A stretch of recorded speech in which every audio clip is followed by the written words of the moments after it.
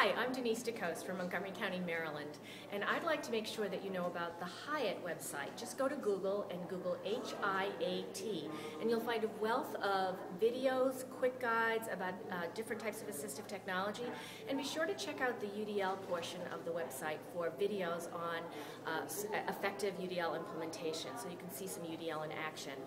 And you're listening to the AT Tips Cast.